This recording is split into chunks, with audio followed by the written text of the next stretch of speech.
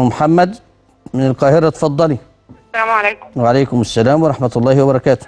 لو سمحت يا شيخنا في معايا خمس رؤيا إن شاء الله بس قصيرين جدا. اتفضلي. أول آه، أول حاجة يعني في هو في الحقيقة آه، زوجي أنا متجوز عليا زوجة ثانية مم. ف أنا كان ليا بيت اتجوزت فيه في ده في الحقيقة ليا بيت اتجوزت فيه فهو خد شغل بيت شوية فخد لي شقة جنب شغله. فاتفاجئت إن هو اتجوز في في البيت بتاعي. فزوجها ما اتقتش فينا ربنا فدايما بتبعدوا عننا وكده. فدايما أنا بشوف في منامي إن أنا راجعة البيت ده تاني وجيراني بيباركوا لي على رجوعي في البيت. ده ده ده حاجة دايما بشوفها بتتردد ليا كتير قوي. جيراني خليكي معايا يا أم محمد. أيوه. إما أشوف إن أنا رجعت بيتي بيدل على الستر. بيدل على الإيه؟ السبت ليه؟ لأن ربنا اللي قال كده. قال وقرن في بيوتكن. لا تخرجهن من بيوتهن. واذكرن ما يتلى في بيوتكن. يبقى أنا لما أشوف إن أنا راجع بيتي يبقى ده ستر إن شاء الله أنا حدني فيه بأمر الله والله أعلى وأعلم. إيه تاني عندك؟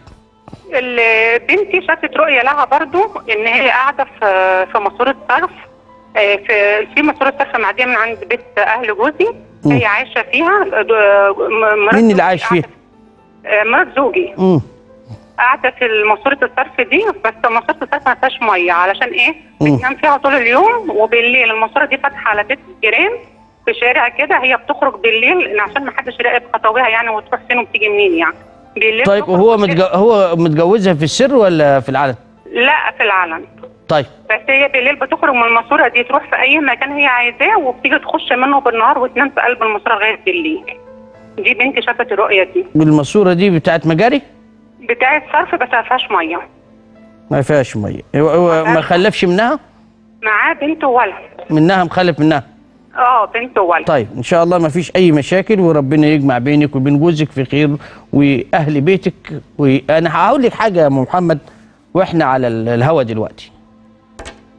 محمد طيب أنا مفترض إن جوزي يتجوز عليا وهو بيعدل هي قالت ان انت قلتي إن انت جوزك واخد لك شقة. طالما في عدل وفي استطاعة يبقى أنا ما فيش أي مشاكل.